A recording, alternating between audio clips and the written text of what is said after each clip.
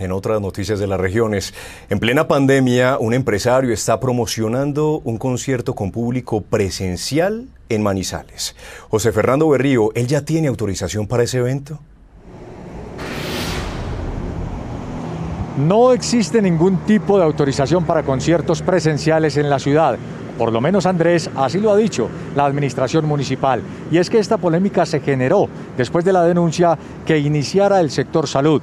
Algunos directores de hospitales que dicen que es irresponsable pensar en hacer conciertos con presencia de gente cuando en el momento está creciendo, no solamente en Manizales, sino en todo el departamento, la cifra de infectados por coronavirus.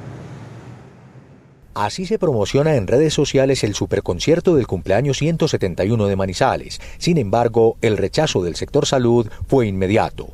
No es lógico que nosotros, los médicos, nuestras auxiliares, nuestras enfermeras, todo el talento en salud, hoy se está sacrificando su vida, su integridad física, la de su familia, la de sus conocidos, por salvar vidas. Y que lastimosamente existan personas irresponsables que den permiso y que autoricen a que se realicen conciertos en esas capitales.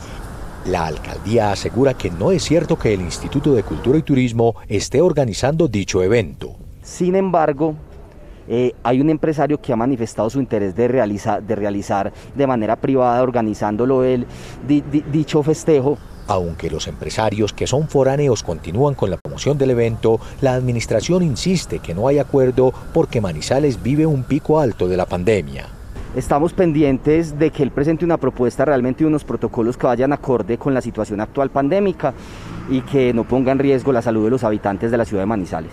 Se reportan más de 200 casos en todo el departamento, de los cuales 127 fueron en Manizales, siendo el día de ayer de los días de mayor pico en casos. Los habitantes de Manizales también tienen su opinión sobre la realización del promocionado concierto. Estamos peor porque hasta ahora está llegando la curva Manizales.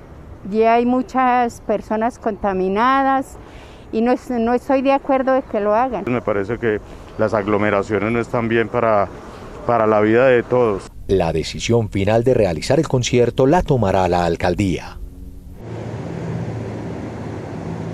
Lo cierto es que los promotores de dicho concierto hasta el momento no se pronuncian ni dicen si van a hacer efectivamente este concierto de manera presencial.